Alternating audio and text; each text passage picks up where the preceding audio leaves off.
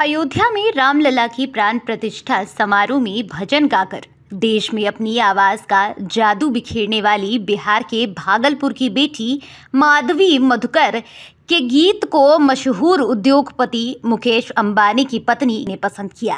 इतना ही नहीं, अपने बेटे अनंत अंबानी की शादी में देश विदेश के अतिथियों को बुलाने के लिए अनोखा आमंत्रण पत्र भी तैयार कराया, जिसमें माधवी की आवाज़ में गीत गूंज रहा है। सोशल मीडिया पर लगातार ये वीडियो वायरल हो रहा है।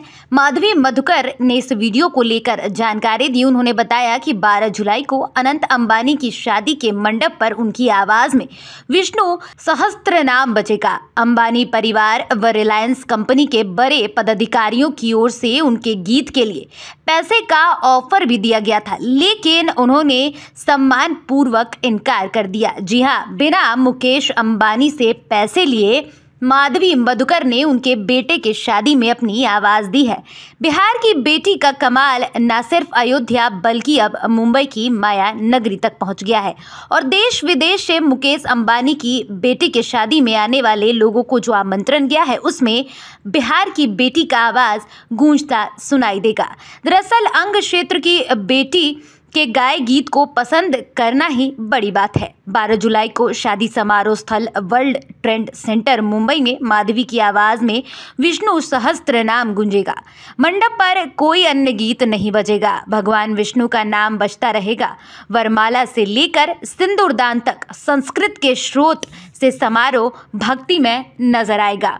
विश्व के नाम चिन्ह उद्योगपतियों में शुमार मुकेश अंबानी व नीता अंबानी के पुत्र अनंत अंबानी व राधिका मर्चेंट की शादी के लिए तैयार आमंत्रण पत्र को खोलते ही डिजिटल आवाज़ में ओम श्री विष्णुवाय नमः गूंजने लगता है। और ये आवाज़ किसी और का नहीं, बल्कि बिहार के भागलपुर की बेटी माधवी मधुकर का है। माधवी मधुकर के गाय संस्कृत के भजन अतिथियों को खूब आकर्षित कर रहे हैं। शादी का कार्ड लगातार गूगल से लेकर सोशल मीडिया के लगभग सभी प्लेटफॉर्म में करोड़ों लोग देख रहे हैं। डिजिटल कार्ड से लेकर शादी कार्ड को लगातार लोग देख व सुन रहे हैं। इतने में माधवी मधुकर ने भी अपने सोशल मीडिया पर जो कार्ड आया है उनके नाम से उसे भी पोस्ट किया है। आपको तस्वीरों में हम दिखा रहे हैं खुद माधवी मधुकर ने।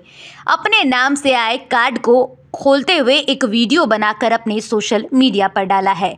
मालूम हो कि माधवी मधुकर का पैतृक घर सबौर है और उनकी शादी गोड्डा में हुई है। पति पीयूष झा व माधवी दिल्ली में रहते हैं। माधवी मधुकर माधवी मधुकर भक्ति गीत खासकर संस्कृत में गाती है। माधवी मधुकर, गोवर्धन मठ शंकराचार्य पूरी स्वामी की शिष्या है। दूरदर्शन और आकाशवाणी पर माधवी के स्रोत प्रस्तारित होते रहे हैं। अभी हाल में ही काशी विश्वनाथ मंदिर ट्रस्ट ने मंदिर परिसर में माधवी मधुकर की प्रस्तुति की थी।